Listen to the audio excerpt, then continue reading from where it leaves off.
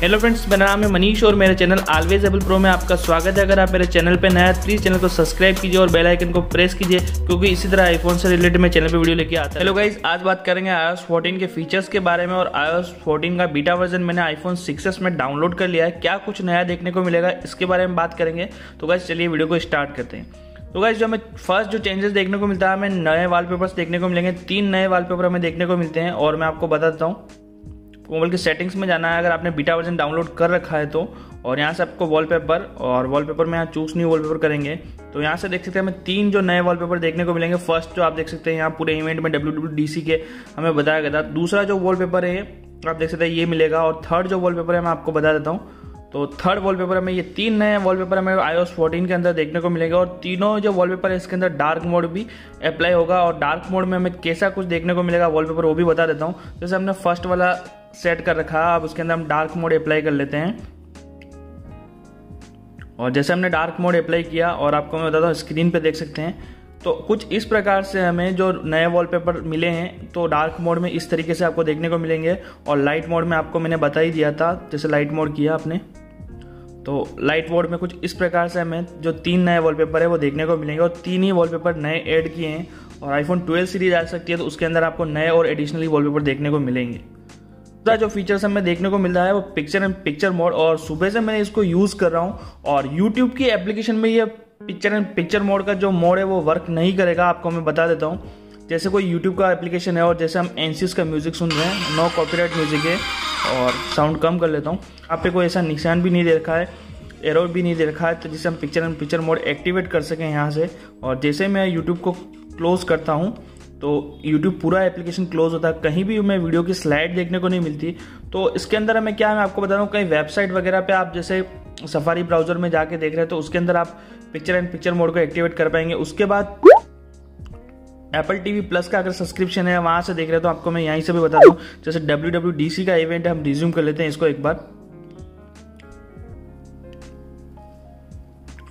तो गैस देखते हैं यहाँ पे निशान आ रहा है, अगर हमको इसको एक्टिवेट करते हैं तो हमें पिक्चर एंड पिक्चर मोड हमारा जो एक्टिवेट हो जाएगा, उसके बाद ये स्लाइड है, देख सकते हैं आप कहीं भी इसको ले जा सकते हैं, और जैसे बड़ी करनी है स्लाइड तो आप टू फिंगर से स्लाइड बड़ी भी कर सकते हैं, बिल्कुल।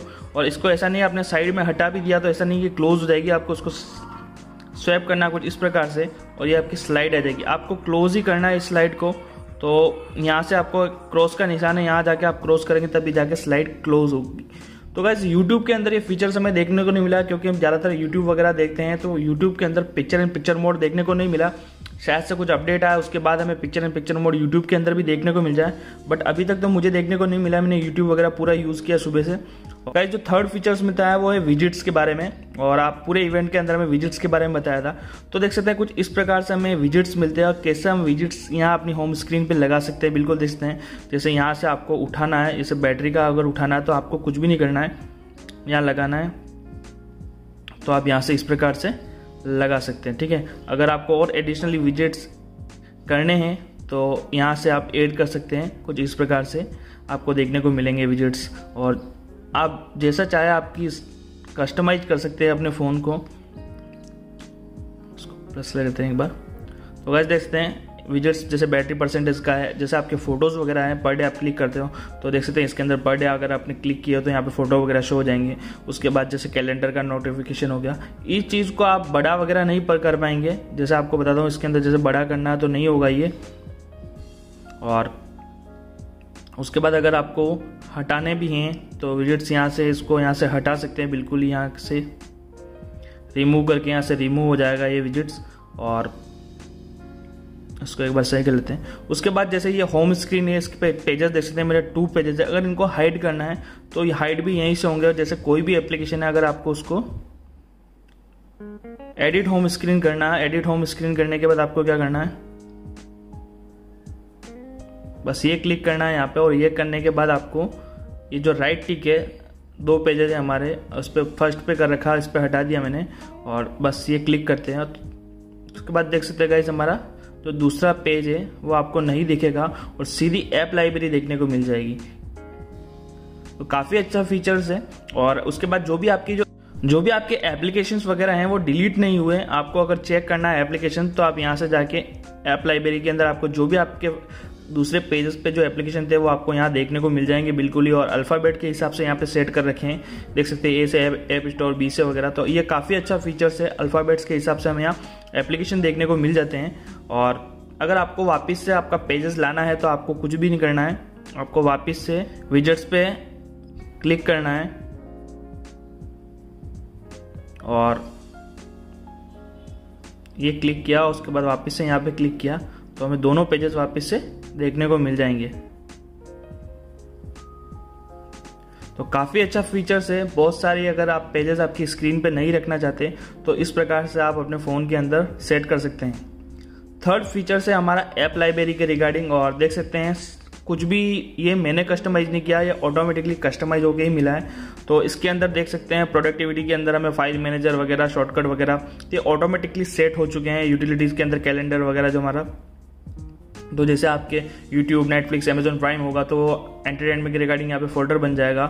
तो काफ़ी अच्छा है ऑटोमेटिकली यहाँ पे सेट होकर आपको कैटेगरी वाइज फोल्डर यहाँ पे देखने को मिल जाएँगे। उसके बाद अगर आपको सर्च भी करना है तो एप्लीकेशन अल्फ़ाबेट वाइज यहाँ सर्च कर पाएँगे, सभी एप्लीकेशन आपको यहाँ पे मिल जाएगी। अगर आपको बहुत सारी एप्लीकेशन सर्च करनी, नाम से अगर आप भूल गए तो यहाँ से भी आप टाइप करके सर्च करके यहाँ पे भी आप एप्लीकेशन ढूंढ सकते हैं। काफ़ी अच्छा है, और अगर जितनी एप्लीकेशन होगी तो उतनी ज़्यादा कैटेगरीज यहाँ फोल्डर आपको यहाँ देखने को मिलेंगे गाइस गाइज़ नेक्स्ट फीचर हमारा आई मैसेज से रिलेटेड है और आई मैसेज के अंदर आप किसी से भी वगैरह बात करते हैं और आपसे ज़्यादा किसी से बात करते हैं और बार बार मैसेज आपके आते रहते हैं और जिस पर्सन से आप बात करते हैं, वो टॉप पे रहना चाहिए, जैसे मेरा मैसेज है। ये टॉप पे, उसी प्रकार आपके मैसेज तो बहुत से आते हैं। अगर वो टॉप पे रखना चाहते हैं उसके लिए क्या करना होगा? जैसे यहाँ मेरे मैसेज तो कम है, आपको बता देता हूँ फिर भी फीचर्स में। आपको जिस भी जिस भी आप, जिस भी पर्सन के मैसेज को आप सबसे टॉप पे रखना चाहते हैं, उस पर्सन के यहाँ से जब मैसेज आएगा, उसको क्लिक करना है। और क्लिक करने के बाद यहाँ से आपको पिन करना तो जो भी होगा वो आपका मैसेज जो है टॉप पे रहेगा। और गाइज़ कुछ इस प्रकार से आप सेट कर सकते हैं पिन करके तो ताकि वो टॉप पे रहेगा जो भी आपका कन्वर्सेशन जिससे भी आप पर्सन से बात करते हैं। गाइज़ नेक्स्ट फीचर है हमारा सीरी का, और आपको मैं बताता हूँ सीरी जो हमारे पहले जो पूरे फ़ोन पे स्क्रीन पे आ जाती बट अब आई एस फोर्टीन के अंदर सीरी कुछ इस प्रकार से देखने को मिलेगी, जैसे मैं बताता हूँ। हे सीरी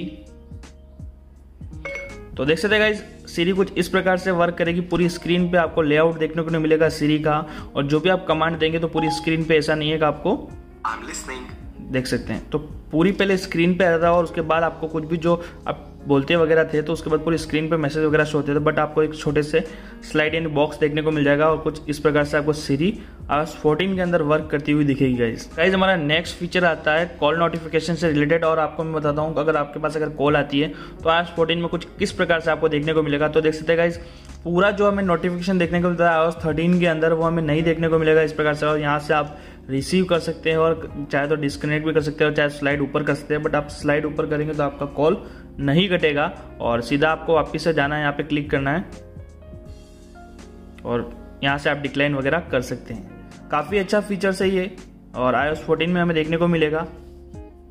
और ख़ास तौर से पबजी वगैरह गेम प्ले करते तो उस समय हमारी पूरी स्क्रीन पे नोटिफिकेशन आता है, वो नहीं आएगा। अब यहाँ से आप स्वेप भी कर सकते आपको नहीं उठाना है तो डिस्कनेक्ट भी कर सकते हैं, और जो भी आप ऐप्स वगैरह यूज़ कर रहे हो डेफिनेटली यूज़ कर पाएँगे, बिना कोई दिक्कत के।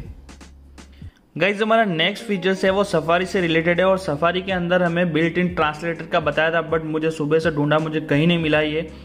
फीचर्स तो जैसे सफारी के अंदर क्या कुछ नया चेंजेस हुआ, मैं आपको बता देता हूँ। पहले जैसे आप गूगल टाइप गूगल जैसे कोई भी हम वेब पेज खोल लेते हैं, और जैसे हम डेस्कटॉप मोड करना होता था तो हम यहाँ से सीधा क्लिक कर लेते हैं और डेस्कटॉप मोड ऑन हो जाता था। बट आपको क्या यहाँ से additionally request for desktop mode यहाँ से आप एडिशनली यहाँ पे दे दिया, जिससे आप डेस्कटॉप मोड पे आप यूज़ कर पाएँगे। पहले हमें सिर्फ़ यहाँ से क्लिक करना होता था, तब जाके डेस्कटॉप मोड एक्टिवेट हो जाता है उसके बाद मैंने कहा देखा, मुझे कहीं भी इसके अंदर बिल्ट इन ट्रांसलेशन का मुझे नहीं देखने को मिला। देखा सुबह से मैंने ढूंढा, मुझे फीचर्स नहीं देखने को मिला। बिल्ट इन ट्रांसलेट का सफारी के अंदर शायद मैक ओएस के अंदर में देखने को मिले ये फीचर्स बट सफारी ब्राउज़र के अंदर मुझे तो फ़िलहाल अभी देखने को नहीं मिला ये।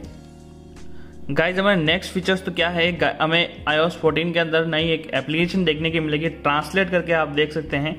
और ये एप्लीकेशन जो है, आपको थर्ड पार्टी एप्लीकेशन डाउनलोड करने की नहीं पड़ेगी, जैसे गूगल ट्रांसलेट वगैरह हम करते हैं अधिकतर। और ये जो एप्लीकेशन है आपसे रियल टाइम में ट्रांसलेट कर पाएँगे। जैसे हमने इंग्लिश में लिखा हाउ आर यू तो इसे स्पेनिश में देख सकते हैं। कुछ इस प्रकार से हमें देखने को मिलेगा हाउ आर यू को स्पेनिश में इस तरीके से बोलते हैं। और जो फ़िलहाल अभी लैंग्वेज है, आप देख सकते हैं, हमें हिंदी जो लैंग्वेज है, वो नहीं मिली है। खासतौर से इंडियन यूज़र के लिए हिंदी अवेलेबल होनी चाहिए थी बट हिंदी अभी अवेलेबल नहीं है। अगर आगे का भी टाइम में हिंदी अवेलेबल होती है तो मैं डेफिनेटली आपको वीडियो बना के बता दूँगा। बट अभी फ़िलहाल ये जितनी भी लैंग्वेज है, आप देख सकते हैं स्क्रीन पे आपको मैं बता रहा हूँ। बट इसके अंदर हिंदी कहीं भी नज़र नहीं आ रही है। अगर आपको चेक करना है अगर आपको ट्रांसलेट करना है तो इस एप्लीकेशन का आप यूज़ कर पाएँगे बट इंडियन यूज़र के लिए काफ़ी अगर हिंदी होती है तो काफ़ी अच्छा तो इस समय कुछ ये नए फीचर्स देखने को मिलते हैं। आईफोन सिक्सेस के अंदर देख सकते हैं मेरा आईफोन सिक्सेस ही है और मैंने आईफोन सिक्सेस के अंदर ये कल से ही डाउनलोड कर लिया था और इसके अंदर मुझे अभी फ़िलहाल कोई प्रॉब्लम नहीं है ये मैं इसे यूज़ कर रहा हूँ और यूज़ करने के बाद आपको मैं बताऊँगा इसका फुल रिव्यू दूँगा इसके अंदर क्या कुछ मुझे हैंग वगैरह इशू देखने को मिला बैटरी ड्रेन होने लगी या क्या कुछ जो भी प्रॉब्लम्स आती है मैं उसके लिए आपको एडिशनली और वीडियो बना दूँगा। और अगर ये वीडियो अच्छी लगी तो प्लीज़ आपको वीडियो को लाइक और शेयर कीजिएगा। आप मेरे चैनल पर नया प्लीज़ चैनल को सब्सक्राइब ज़रूर कीजिएगा, क्योंकि आईफोन से रिलेटेड मैं चैनल पर ऐसे ही वीडियो लेके आता रहता हूँ। Thanks for watching